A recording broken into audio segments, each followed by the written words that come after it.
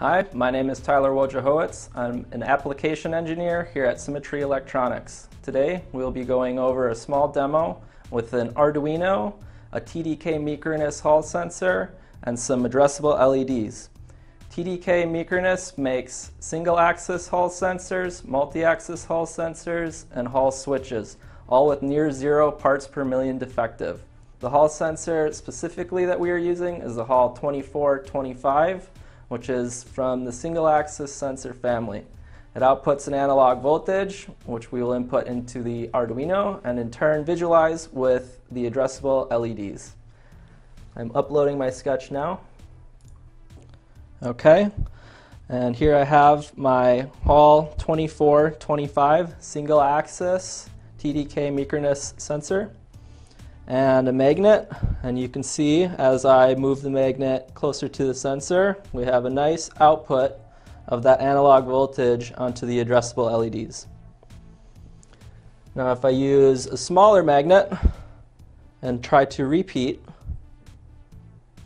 I can't reach that full threshold on the LEDs. And that's where the programming environment comes into effect. So I'm going to unplug my TDK Micronas single axis Hall sensor from the Arduino. And I'm going to plug it into my HAL USB extension board and USB programmer. Now that I've got it plugged in here, I'm going to open up the HAL 24 family programming interface. There's some nice calibration tools, linearization, and then sensor settings, which we're going to open. Okay, with Hall sensor settings open, we're going to change the magnetic range from 200 millitesla to 50 millitesla and save those settings to the EEPROM. Now I'm going to remove the sensor from the HAL USB programming kit and programming board and plug them back into the Arduino.